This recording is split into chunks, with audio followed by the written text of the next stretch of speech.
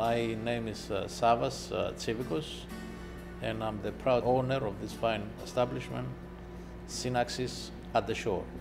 Synaxis uh, means uh, literally uh, bringing together.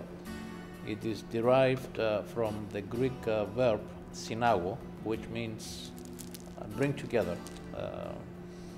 And that was the vision I had for this restaurant, where people get together, they enjoy the fine Mediterranean and Greek cuisine, and have a good time.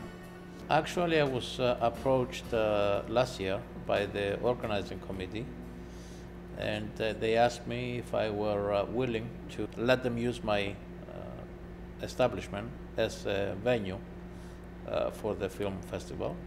And of course, I said yes. And I'm very proud to say that our establishment was the, the most popular venue uh, for the film uh, festival last year. It is a win-win situation uh, for the town, for the community, and also for the producers uh, of these short films, I would say. It gives uh, the opportunity to the producers to uh, showcase their films, and uh, it helps the city and the community by bringing a lot of people to this different menus uh, to uh, view the films. And it was very, very successful last year. It brought a lot of people in, and um, we had a lot of good reviews of the films that were shown. On April 4th and 5th, we have uh, scheduled several uh, viewings.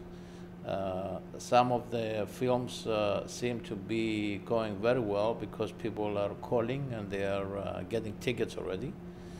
And uh, for those that enjoy the film, I'm sure uh, they can stop by uh, the restaurant uh, and enjoy uh, our uh, dishes, have a drink, and get acquainted with the fine Mediterranean and Greek cuisine.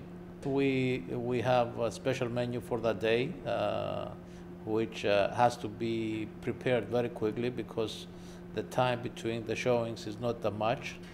Uh, so we're getting ready and prepared to accommodate the people.